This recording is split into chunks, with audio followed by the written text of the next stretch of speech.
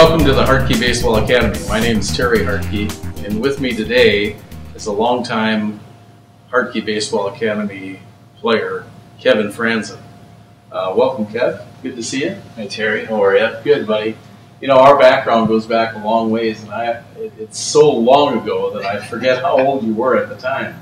But uh, you were how old when I first started? Six years old in the backyard over your house. That's awesome. And DJ was nine at the time, and uh, been a long time. It might have actually been longer than that, but who knows? I've told I've told people this story, and I hope this doesn't offend you, but I remember working with your brother, your older brother DJ, and and you sort of traipsing behind us, going "Me too, me too, me too." But that That's showed how it always was. yeah, that showed your love for the game of baseball, which uh, which has kept you going all through these years. Uh, currently, uh, Kevin's with the Philadelphia Phillies.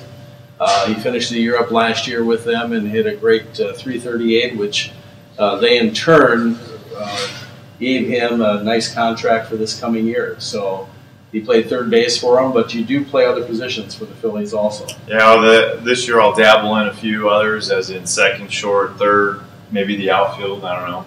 I'll go to catch. I don't care. Wherever gets me on the field. That's what I was taught. You know, whatever's going to get you on that field. Kevin, Kevin's background is is a great background. Uh, he he's a local San Jose product. Uh, he went to Bellarmine College Prep, uh, where he was a star uh, on their baseball team. He then got a scholarship uh, to San Jose State University, where when he left San Jose State, he was the all-time hits leader for, for the Spartans, and then was the 12th round draft pick of the San Francisco Giants. What year was that? 2004. 2004. And uh, at that point in time, uh, was that the team you wanted to have draft you? That's the only team I wanted to have draft.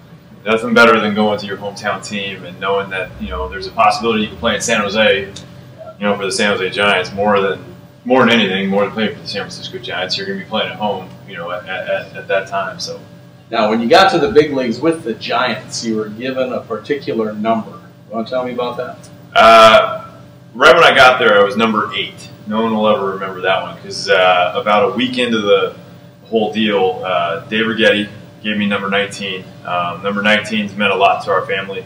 Uh, my brother was born on May 19th. He battled cancer for 19 years. His favorite player was Dave Righetti. His favorite number was 19. My first number in pro ball was 19. Jason wore 19. Jason is Terry's son.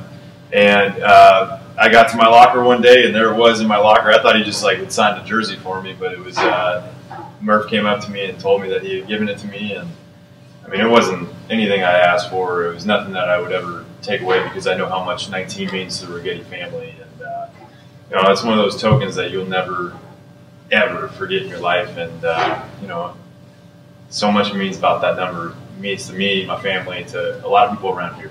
Tells you something about Dave Righetti also. He's an alright guy. Yeah, he's decent. You know, I, I really wanted to visit with you, Kevin, because I think your story is a story that many baseball players uh, go through, and, and some of them are able to get to the ultimate success point that you have, uh, but others don't. But uh, and what I mean by that is is that you were not given the gold spoon in your mouth as far as baseball is concerned. You're you're more of a blue collar guy when it comes to being a baseball player. Uh, tell me about your perseverance and, and how you had to battle to get to where you are today.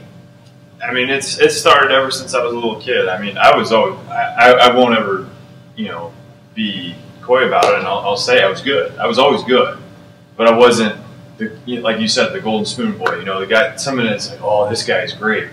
Um, I always knew that if I wanted to play, I had to work harder than the next guy. And you know, for me, little league, it was it wasn't nothing was ever easy. But I mean, I I hit, I did everything. I played well there and all that stuff. I got I had an eye opener when I got to to Bellarmine. Um, you know, my freshman year, I, I tried out for the team and uh, I played second base for him, but I got DH for. And I've always been a guy that hit his whole life, and I never never in my life would have ever imagined that I got DH. I played my entire freshman year. I might have had 30 at bats and I I got DH four. I was wasn't strong enough. I was four eleven. I was 110 pounds when I was there.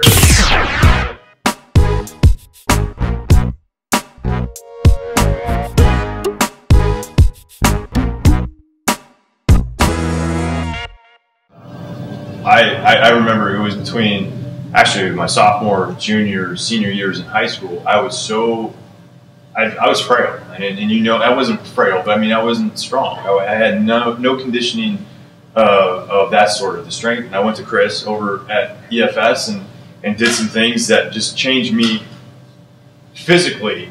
That made me a better player.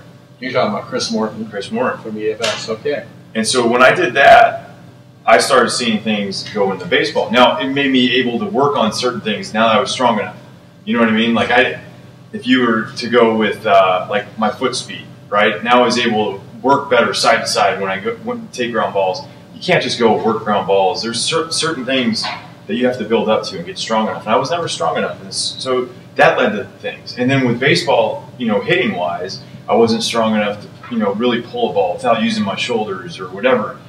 Once I got strong enough, I started using my hands. Started, you know what I mean? There's there's certain things that you could always do that makes yourself better but it was an everyday thing. It wasn't a once once a week thing. It was an everyday thing to make myself better because I wanted to be the best high school player at that time.